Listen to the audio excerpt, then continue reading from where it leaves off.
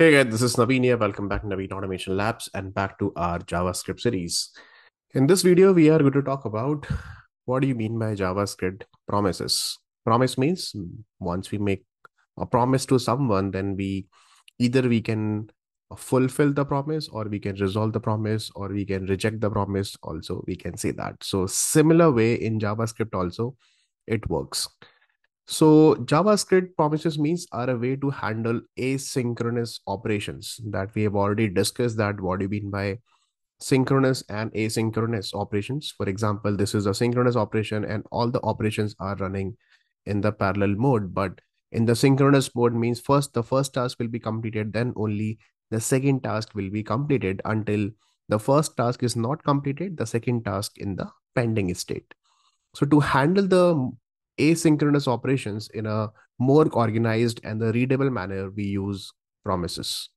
They provide a clear syntax for dealing with asynchronous code compared to the traditional callback based approach. So the syntax wise, it will be very simple, easy to write, and then easy to understand also. And in a better, more organized way and the readable manner, we can write and we can handle all the asynchronous operations with the promises.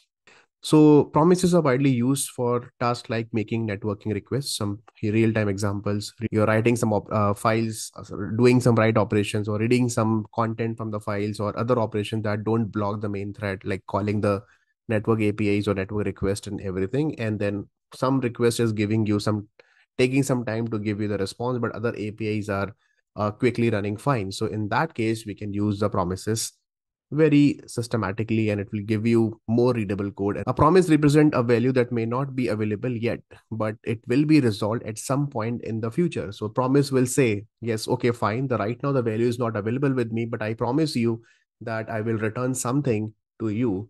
At least if it's the error, I'll give you the error. If the value is available, I'll give the value to you. So that's why there are three states in the promises. If someone is asking you at a time of interview, the first one is a pending, fulfilled, and the rejected. So once a promise is completely fulfilled or rejected, it is considered settled and its estate cannot be changed. It means either it is it can be fulfilled, it means it can be resolved, it has a value, it will give it to you, or it can be rejected also. So that's why the promise is pending. Initially, when we declared right now, the let's see a promise is pending from my side, and then I say, okay, now it is fulfilled and not it is rejected it means i will give you some error or you can catch that error or then after getting the error if you really want to show that error to the user or something you can do that. And when we get the data with the help of fulfilled or once the uh, promise is completely resolved or fulfilled then i can represent the data to the user. For example let's take a very basic example over here. I took this image from the google. Okay let's take this one. Ko underwood. A promise to make a cake for you for your birthday. And after two weeks, KO is healthy, and then KO is giving okay uh, the cake to his friend or her friend that okay yeah the cake is ready. And then his her friend is like yeah cake is ready and i'm happy. And either way i'm going to have a party. But let's see the ko this guy and uh, is not healthy or ko is sick. And there is no cake and i'm sad. It means i could not fulfill the promise that i made it that okay i'm gonna make a cake for you, then in that case, the KO is sick, could not fulfill, but still, the we will still have a party over here, right? So the promises same way works like that, only that whatever the promise that you have done, it can be fulfilled also, it can be rejected also here. Perfect. So that's why it's having the two major state. One is the resolve with a value and rejected with a reason that tell me why it got rejected over here, especially with the asynchronous call asynchronous operation promises are way to handle asynchronous operation in javascript that we have already discussed. They provide a structure for managing and chaining asynchronous task right? So we will see that practically how exactly asynchronous operations are getting handled with the promises. State wise also we have seen that pending fulfilled and rejected. They start in the pending state always remember as i told you that start with the pending and then it depends on the logic that you have written and what kind of value or reason uh, on the basis of that it will be fulfilled or rejected if it is failing. Okay once the fulfill or rejected is available then there are two other methods we are going to use. The promises use dot then and the dot catch method to specify a callback for when the promises is fulfilled or rejected.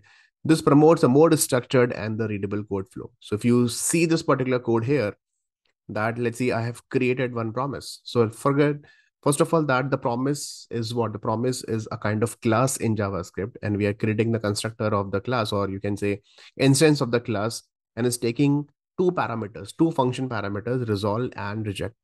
And we are storing in some variable, let's see, my promise that I have created. And then I have some business logic like some asynchronous operation. If it is successfully done, call the resolve with the result. If error, then call the reject with the error. So the promise code that we will write it here. And once the promise is ready, then we can say that this is my promise dot then.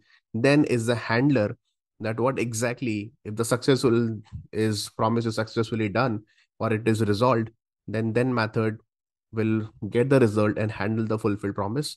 And if there is an error, handle the rejected promise with the reason that what exactly the reason behind that it could not be fulfilled or it got rejected promises can be easily chained together using dot then. So you must have seen this similar kind of code that okay you are getting some promise and then let's say promise zero that you have defined you're getting the output from this promise.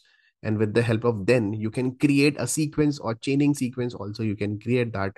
So this is promise one promise two promise three and you can write multiple then zero then one then two then uh, three number of then method blocks you can write it and then you can just create a complete asynchronous operation in the chaining concept, you can also use it over here, right? And then error handling promises have built-in error handling via dot catch. So you don't need to write or you don't need to create any separate method for catch and making it easy to handle and propagate errors in the asynchronous code. So let's see if you're having 10 different lines of code that you have written and if some of the promises are not getting handled properly or getting rejected then you can easily handle with the catch block if the promises are getting resolved, then you can handle with the then block here.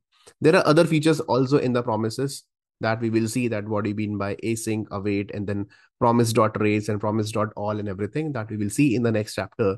But let's see today that how to create a, a promise. Just like that, we took some examples here, and then we will see that if the promise is rejected or resolved, how to handle it in the in your JavaScript code. Okay, so let's go to your uh, Visual Studio Code. And what exactly I'm going to do hit here that I'm going to create one file here. So let's say I'm going to create that uh, promise concept.js. And this is the one file that I have created. And uh, here, one basic example that I'm going to take it here is, for example, first of all, that I'm going to create, let's see, with the help of new keyword, I'm going to create a promise class object here, right? Or you can say a constructor also we can create it. When you create the object, the constructor will be called. So new promise. Okay, so it says that promise constructor that we are going to call it here. And then here it will take uh, two parameters. One is the result and the reject. You can say that resolve and the reject. So you can write any method name that doesn't matter. But generally, the standard we always write, okay, fine, give me two function parameters, resolve and the reject over here. Okay, that you can say these are my callback functions also. We are supplying it here. Okay. Now after that, I'm putting a semicolon here. And then I'm writing one asynchronous operation that is set timeout method. Set timeout method that we have already discussed many times that it is a asynchronous uh, function. Set timeout say, okay, fine, that you do you write your code here and that code will be executing after let's see uh, 2000 milliseconds or 1000 milliseconds or something like this. It means we are giving a delay of 2 seconds. Okay? So delay of uh, 2 seconds here. Now i'm taking some basic example. For example let's see here i'm creating one uh, let's see random value i'm fetching it with the help of a math class dot random method is available here.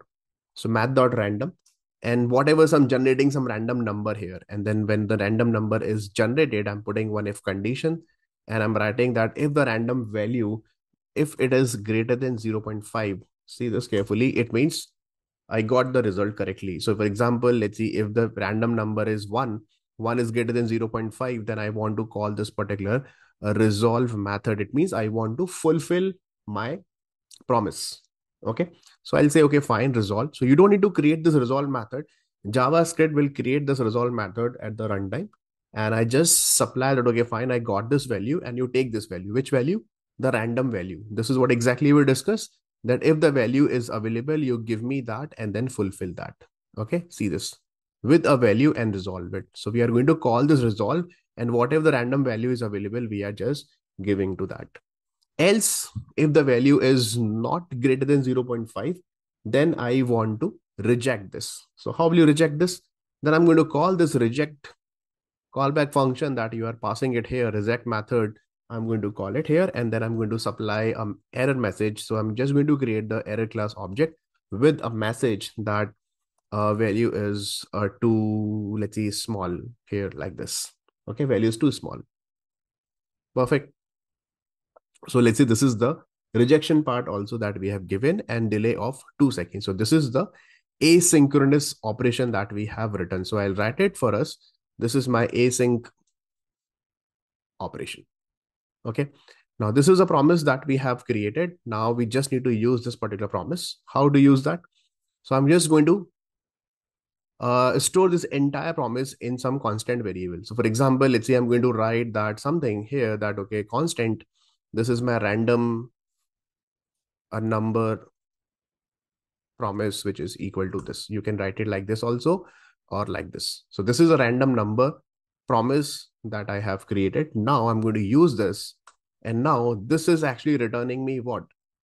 So this is exactly returned with this. And when I use this random promise, I can just simply use the method like dot then over here.